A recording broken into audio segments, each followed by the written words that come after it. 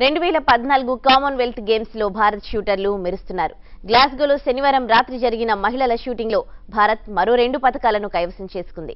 ఇరవై ఐదు మీటర్ల ఎయిర్ పిస్టల్ విభాగంలో రాహి సర్నోబాద్కు స్వర్ణం దక్కగా అనిషా సయ్యద్కు రజత పథకం లభించింది. అంతకు ముందు జరిగిన మహిళల పది మీటర్ల ఎయిర్ రైఫిల్ విభాగంలో భారత్కు రెండు పథకాలు వరించాయి.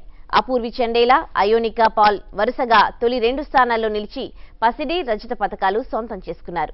అపూర్వి చండేలా రెండు వందల ఆరు పాయింట్ ఏడు పాయింట్లు అయోనికా పాల్ రెండు వందల నాలుగు పాయింట్ తొమ్మిది పాయింట్లు సాధించి ఇతరులకు అందనంత దూరంలో నిలిచారు. పురుషుల పది మీటర్ల ఎయిర్ పిస్టల్ విభాగంలో భారత షూటర్ ప్రకాష్ నంచప్ప రజత పథకం సాధించారు. కామన్వెల్త్ గేమ్స్లో భారత షూటర్లు ఇప్పటి వరకు ఏడు పథకాలను కైవసం చేసుకోవడంతో భారత్ ఖాతాలో పదిహేను పథకాలు చేరాయి. ఇందులో ఐదు బంగారు పథకాలు ఏడు రజత పథకాలు మూడు కాంస్య పథకాలు ఉన్నాయి దీంతో పాయింట్ల పట్టికలో ఐదో స్థానంలో కొనసాగుతోంది Bharat last year and making his Commonwealth Games debut, Prakash Nanjapar. Well, he's been in very